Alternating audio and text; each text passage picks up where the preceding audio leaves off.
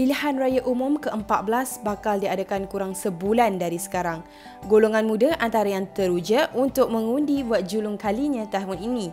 Ikuti tinjauan Awani Rangers UITM tentang ciri-ciri calon wakil rakyat pilihan mereka. Uh, ciri-ciri pemimpin yang saya inginkan yang untuk uh, ini pandai mentadbir uh, sesebuah negara.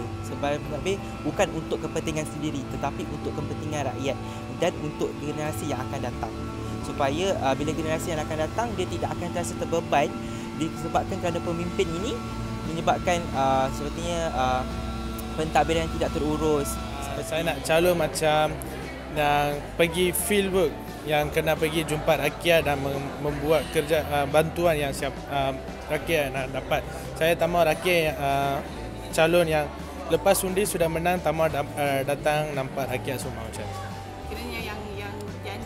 ni. Uh, ya.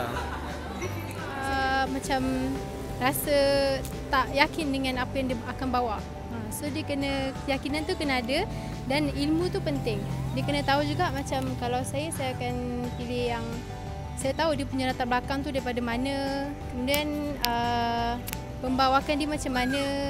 Uh, lagi uh, dia tahulah apa yang dia akan buat. Bukan akan ikut uh, orang mana-mana orang mana-mana pihak. Itu bagi saya lah.